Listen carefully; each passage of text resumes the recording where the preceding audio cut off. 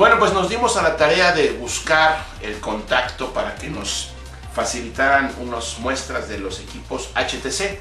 Igual los has visto por ahí en las tiendas. Eh, hay un modelo anterior que se llama Excalibur, que es el que tiene el teclado y una pantalla un poquito más chica. Este fabricante taiwanés eh, pues hace buenos productos y nos tardamos, pero los encontramos. En México el distribuidor eh, lo contactamos y finalmente nos ofreció rápidamente estos equipos de prueba. ¿Por qué digo estos? Porque nos mandó un Excalibur, nos mandó este que es el Touch y otro que es un Slider, que próximamente lo vas a ver por aquí, estamos probándolo uno por uno.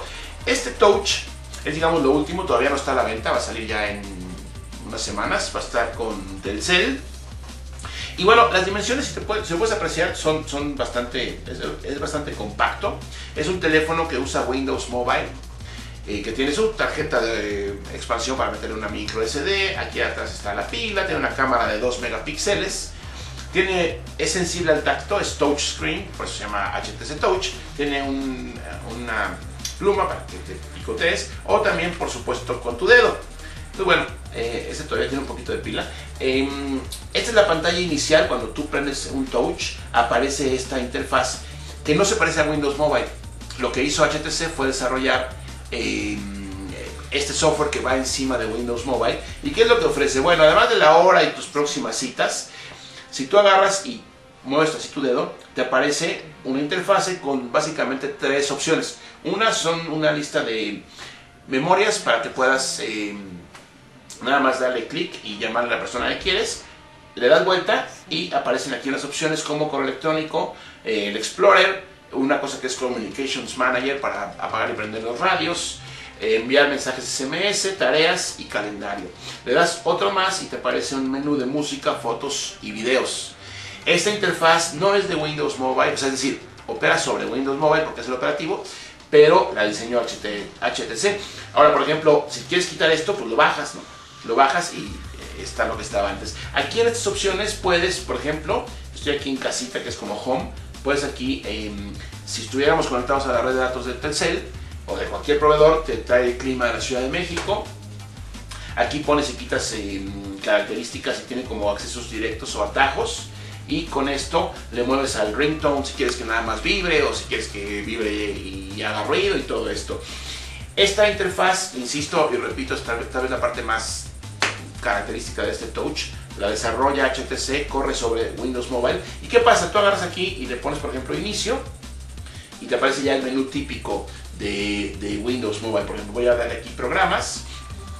Ya, este es un Windows Mobile tradicional como lo, lo conoces, como lo has visto. Insisto en ver a otra cámara, pero ya entendí que es esta cámara, no, no, ya, ya no voy a ver a otro lugar. Eh, el precio todavía no nos lo dieron. Eh, estos, los precios de esto depende siempre qué plan contrates, si es un plan de prepago, pospago, cuántos puntos tengas, etcétera. Yo le calculo que va a estar en unos, con tus puntos y con todo si tienes un plan de renta fija, anda a entrar como en unos, voy a decir una cosa que se me ocurre ahorita, unos 3, 4 mil pesos más o menos. Puede ser mucho menos, por supuesto. Ahora, el uso, lo hemos estado usando un par de semanas, el uso es bastante cómodo, pero tiene un detalle bien importante. Cuando te hablan por teléfono y te lo pegas naturalmente al oído, por alguna, no por alguna razón, sino como es touch, de repente, mira, ahí está, ya le activé algo. Entonces, ese, ese asunto, claro, depende de cuando te lo pegues, ¿no? Pero finalmente yo de repente estoy hablando y ya arrancó la cámara, eh, ya se puso alguna de las funciones y bueno, pues es cosa de nada más ver aquí qué es lo que está abierto, los va cerrando es una característica interesante que le, digo HTC Touch al, al, Windows Mobile. Iba a decir Windows Vista Mobile, todavía no hay. Y bueno, la cámara está bastante buena, le picas el botón de acá y eh, la giras y ya vamos a tomarle por ejemplo aquí una foto, a ver si no va a salir nada. Vamos a tomar una foto aquí a la pantalla, a render. Hace ruidito, 2 megapíxeles, toma buenas fotos. El problema con esos teléfonos con cámara es que tienes que dejarlo muy, muy, muy quieto. Como es digamos, eh, difícil de sostener como una cámara tradicional. Tienes que dejarlo así muy, muy, muy quieto para que salga una buena foto. Pero sí he logrado tomar algunas interesantes. Este es el HTC Touch. Lo estás viendo aquí en render. Y bueno, pues pronto más gadgets.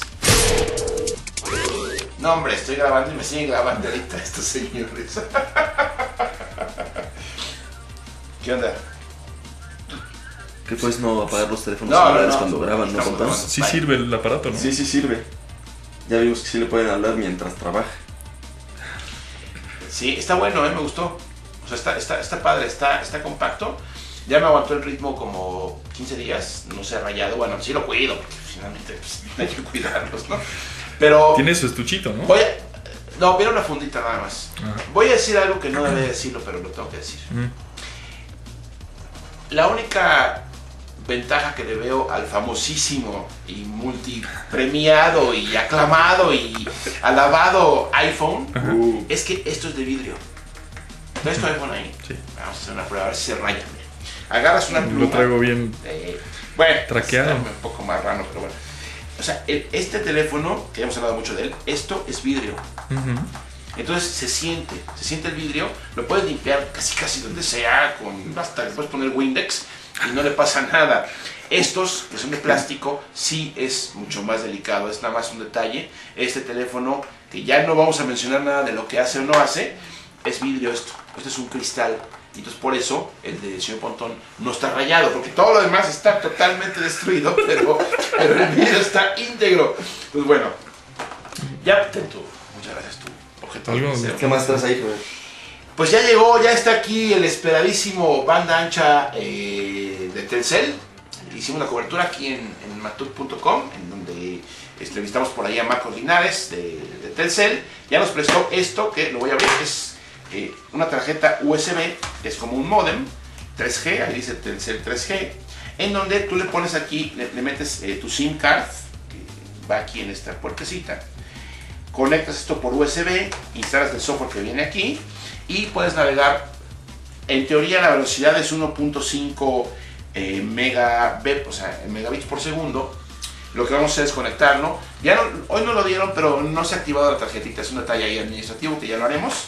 Pero dentro de muy poquito tiempo podrás ver por aquí cómo se navega con la nueva red 3G de Telcel, banda ancha. Lo estás viendo aquí en matub.com.